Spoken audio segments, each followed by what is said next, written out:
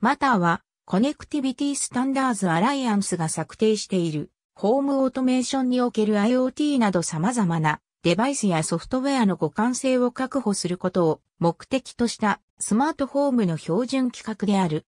この Matter は様々なベンダー間の断片化を減らし、様々なメーカーのスマートホームデバイスと IoT プラットフォーム間の相互運用性を実現することを目的としている。マターに対応させれば、スマートフォームメーカーは製品を各社の音声アシスタントに個別に対応させる必要がなくなり、また消費者は製品購入の際にどのアシスタントをサポートしているか意識せずに済むようになる。CSA によるとこのロゴは接続性を表しているという。中央に向かう3つの矢印は収束と接続性を保証することを伝え、幾何学的な構造でセキュリティと実用性を表現したとしている。この企画には Amazon、Apple、Google、カームキャスト及びジグビーライアンスイケア、ファーウェイ、シュナイダーなどグローバル企業が200社以上参加しており、将来の業界のスタンダードとなることが想定されている。この企画はインターネットプロトコルに基づくように設計されている。これはスマートフォームデバイス、モバイルアプリ、及びクラウドサービスが通信できるようにし、デバイス認証用の IP ベースのネットワークテクノロジーの特定のセットを定義するように設計されている。またコードリポジトリはアパッチライセンスの下でオープンソースだが、マターの使用は CSA によってライセンスされている。スマートフォームの接続性に関して、ジグビーと同じ IEE802.154 を利用する通信規格であり、Google 参加のネストラブスが主導するスレッドがあるが、スレッドはマターと連携して動作するとのことが発表された。具体的には、ネスト Wi-Fi やネストハブ Max、第2世代のネストハブなど、トゥヘッドをサポートするデバイスは、マターデバイスの接続ポイントになるとしている。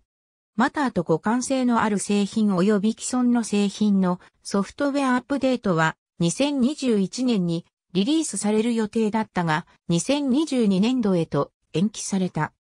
2019年12月18日、Amazon、Apple、Google、サムスンスマートシングス、及びジグビーアライアンスは、スマートフォームデバイスの互換性向上の取り組みで、連携し、スマートフォーム製品間の互換性を高めるための新たな接続規格を開発するワーキンググループ、プロジェクトコネクテッドホームオーバー IP の立ち上げを発表した。